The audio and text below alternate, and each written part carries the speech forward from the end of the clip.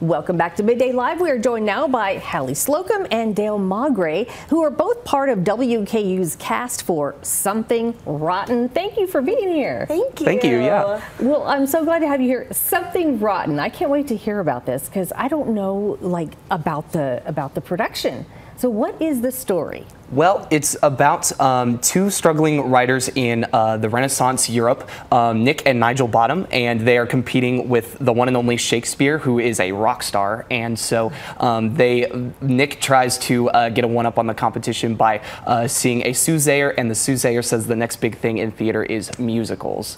Okay. Now, even though we're in the Renaissance, it's a really fun show with lots of big dance numbers, and it's really a love letter to musicals as a whole. There's over like 40 references to musicals, and it's such, just such a fun production. Yeah, now you play Bea in the play. I do. Okay, and you play Nigel Bottom. Yes. So tell me a little bit about your characters. Bea is the wife to Nick Bottom, who's Nigel's older brother, who is a struggling writer, and Bea just wants to help and support the family, and she's pretty spunky, and so she does whatever she can to help the family, and that comes with wild adventures. and Nigel Bottom is this uh, romantic uh, poetry writer who is a little unsure of himself until he meets his love interest, Portia, and so then he um, begins to uh, find out who he truly is as a writer. Um, yeah. Oh, how fun. Okay, so um, it sounds like a big production. How long have you all been working on this?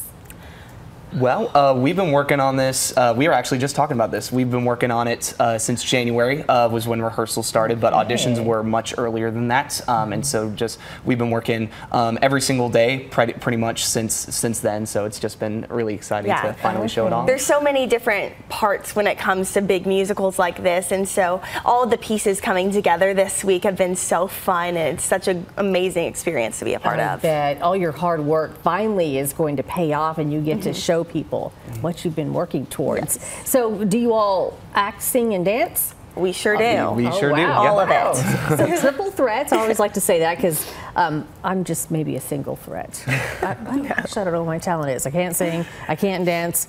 Well, maybe I have no talent. I don't know if I can act either. but um, so I'm excited for you all.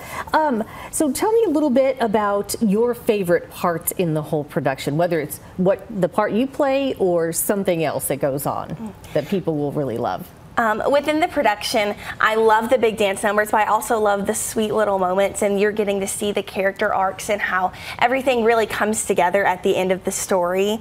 And so, watching that arc and moving through the show is one of my favorite parts. Oh, nice. And how about you, Dave? Uh, my favorite part typically is whenever um, we all kind of uh, start, uh, typically, typically in the rehearsal process, there's a point where we all um, just kind of get together and start uh, doing the show over and over, and we start to see each other build a little bit more and more each time. And it is always really exciting to just kind of see the twinkle in everyone's eyes as they all start um, Oh, getting wow. it together and everything. Yeah, yeah. So, is acting and singing and dancing is that something that you want to take into your your adulthood as you go on, you know, with, with your life, or, or is this just something fun you're doing right now?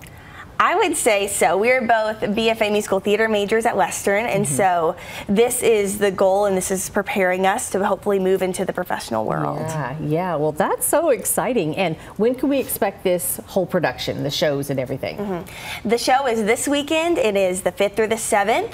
And so Friday and Saturday night are at 7.30 and Sunday is at 2 o'clock. Admission, it is $20 for adults and mm-hmm. $16 for seniors and for students. Okay.